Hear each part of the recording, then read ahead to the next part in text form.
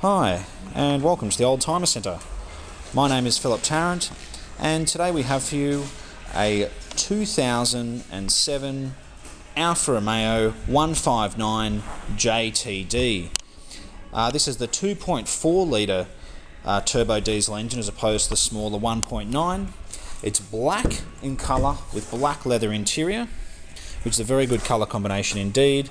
It's got logbooks, two remote keys to the car, and this one does have a sunroof. Um, it drives beautifully. It's actually very smooth through diesel. These also have a fully automatic transmission, as opposed to the other Alfa Romeo, uh, generally the petrols, which come with your Selespeed gearbox. I think this is a much better gearbox. It's also got these nice big Alfa Romeo alloy wheels. It's got large brakes in the front of it as well, which look very, very good.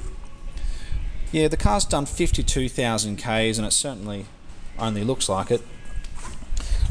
Being a black car, you know, generally do get a few marks and scratches and things around the exterior, but this one is very good indeed.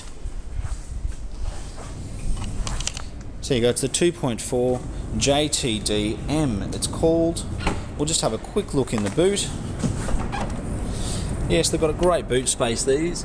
It's even got a, if you can see it, it's got a ski hatch as well.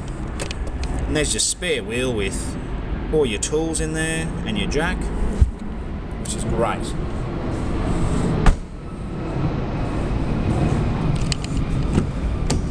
We've had a couple of Alfa Romeo diesels now and they tend to sell very, very well. They're very nice to drive. I find they're actually, for me personally, a lot better to drive than the Volkswagen diesels. The tyres look to be very good as well on the front and the back.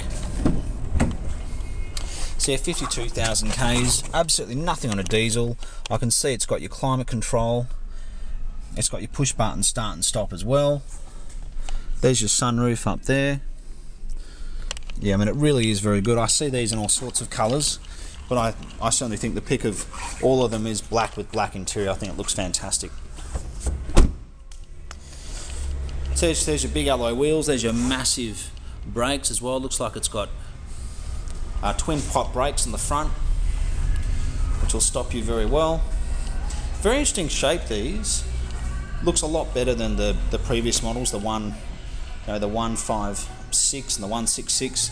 The 159 I think looks fantastic. And to me it's just an added benefit that you can get them with the diesel engine. So they're very good on fuel, yet you have plenty of power. So if you're looking for a 159, give us a call. We're the Oldtimer Centre. We're located in Marrickville, and we certainly do look forward to hearing from you.